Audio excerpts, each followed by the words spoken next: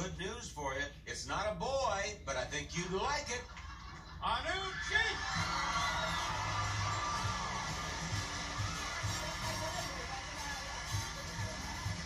The rugged, dependable AMC six-cylinder vehicle with five-speed transmission, high-back bucket seats, metallic paint, extra capacity fuel tank, anti-theft hood lock, floor mats, Wrangler tires, and California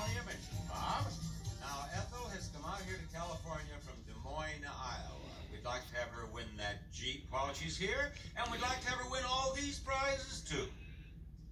King-size bed sack provides luxury upholstery for your old mattresses or box springs and protection for new from bed sack.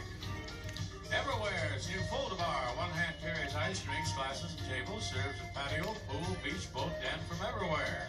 Baker's Secret Non-Stick Bakeware by Ekco. The secret is out. Muffins, breads, cakes won't stick in Baker's Secret Fans, America's number. And Ultra Oven bakes, broils, defrosts, and toasts six slices of most breads. Lip top covers and genius food warming service. Ethel, we have switcheroo for you to play. Right over here, we have all of the prizes listed. Car, cover, bar caddy, bakeware, oven. And we have a prize for each with one number missing. Now, the missing numbers are right here. The idea is for you to put the missing number into the prize, complete the right price, and you win the prize. Do you understand? You have 30 seconds. Go, Ethel. Get busy, Ethel. Don't stand it. You have 30 seconds. Go. Well, put it over there. Pick it up put it in the slot. She thinks I'm going to do it for. Ethel, get them all in the place. You better give her an extra 10 seconds. Come on, Ethel.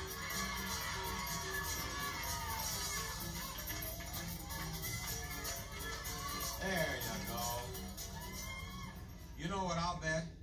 I'll bet that you're a slow starter like that because I bet you've spent a lot of time in Babe's Bar in Des Moines, haven't you? Huh? Is Babe's Bar still there? Yes. You would know that. Of course you would. Now, I wonder how many she has right. Show us, please.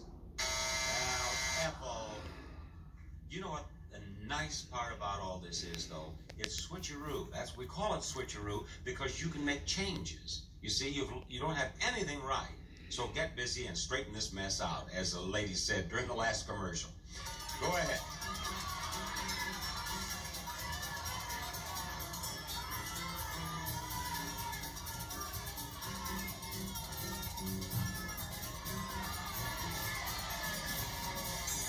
The audience really wanted that five up there.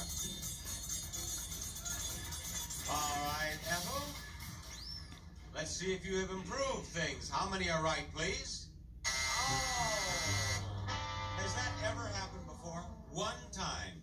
In all the years we've been on, there was only one time that a contestant has done this poorly. Ethel. Now, what was the price of the car? It was the four. The audience was screaming five, and Ethel reacted. Ethel, I'm sorry you didn't do better, but I hope you had fun.